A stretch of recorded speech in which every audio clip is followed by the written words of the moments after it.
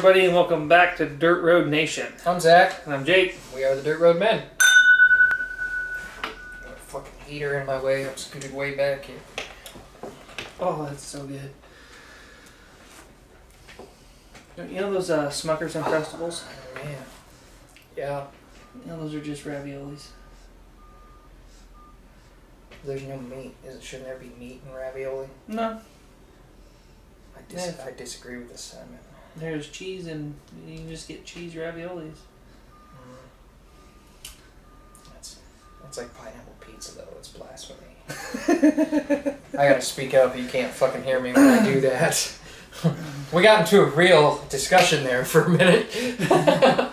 Um, I gotta figure out our uh, microphone thing.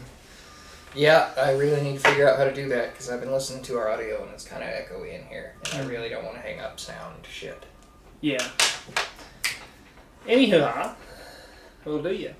Um, We're here to review Four Roses single barrel today, and uh, I think he's already drunk. So, hey, you can't drink all day if you don't start in the morning. ah, Um, so Four Roses uh, uses two different mash bills and five different yeast strains to come up with ten different recipes. The single barrel uses only uh, recipe number one, and it is sixty percent corn, thirty-five percent rye, five percent malted barley, and they use yeast strain V. okay. So my favorite single barrel I've ever had is OBSO.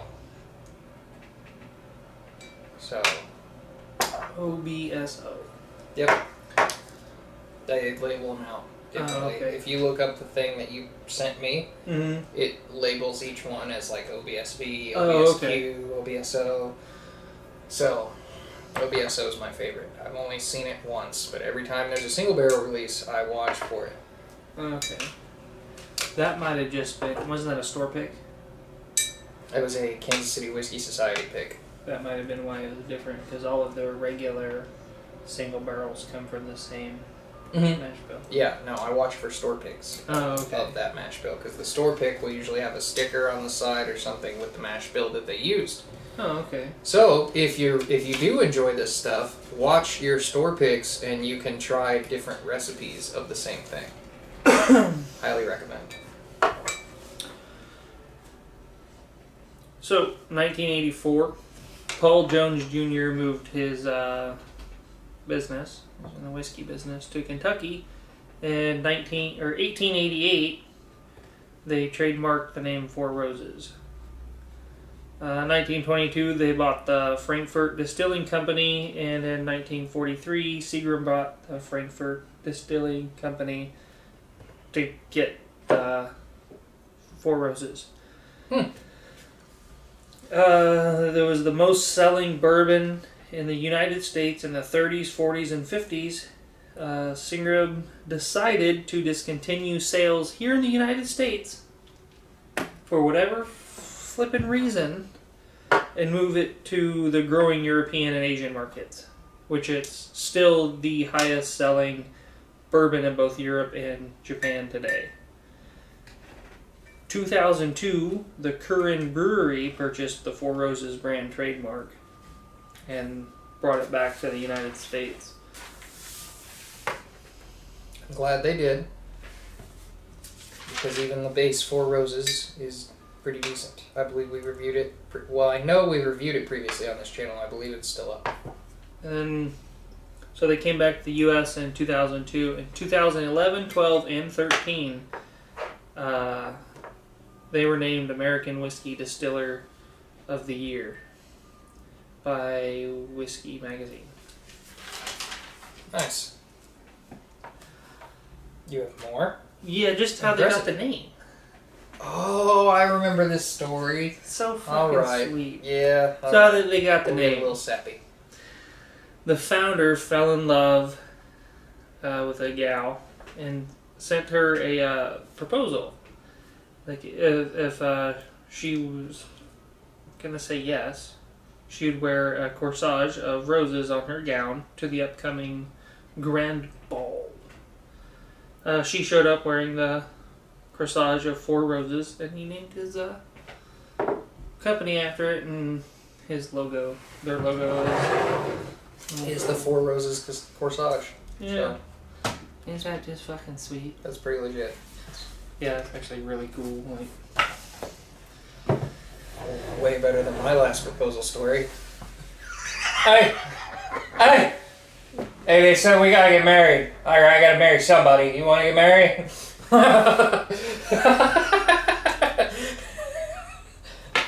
Actually, how it went. So. Jake said he won't be the uh, the Chuck to my Larry. yeah. Oh. Anyway, uh, this is a really good whiskey. On the nose, it's very full and, and sweet. There's a little bit of cherry uh, that's that's kind of central to this one, and it's got like a caramel cherry thing going on that I think blends very nicely. That's common with bourbon, but but it's it's unique in this one. and it's kind of uh, fruity. Mm-hmm. Like if uh, Especially for bourbon. no, there's like a little pastry thing Nora used to make, and it's like oh, just like some kind of like crusty dough thing, and then it's uh, crusty dough. Some fruit goop on top, covered in caramel.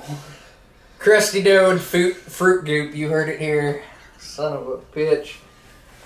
You, you have just a way of selling things when you talk about them, bud.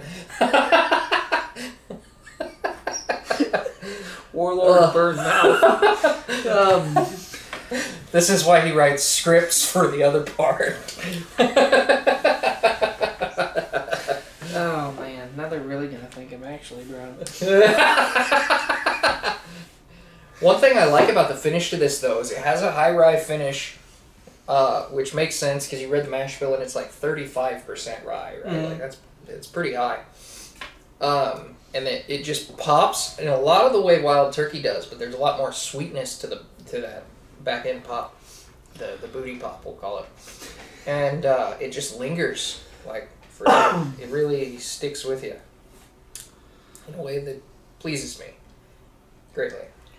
So the uh, the booty pop sticks with you and pleases you a great thing. Sure, she does. we like your wife, Fred. I don't remember his name, so I just went with Fred. Oh. His wife, Oh. of course. Jesus Christ. He just told the whole story and then whoop, gone.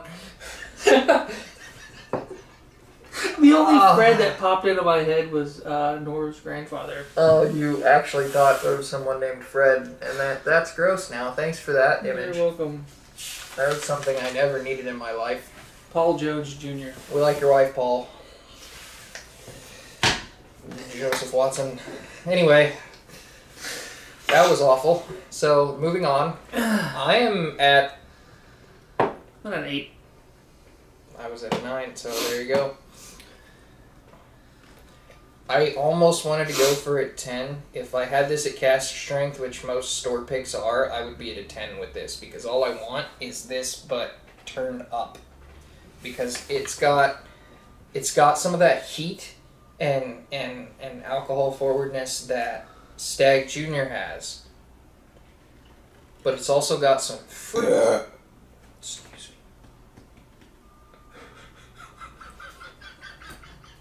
We're trying, damn it. But it's also got some fruit in that mix that I really uh, enjoy. That would be very complementary yet different to the Stagg.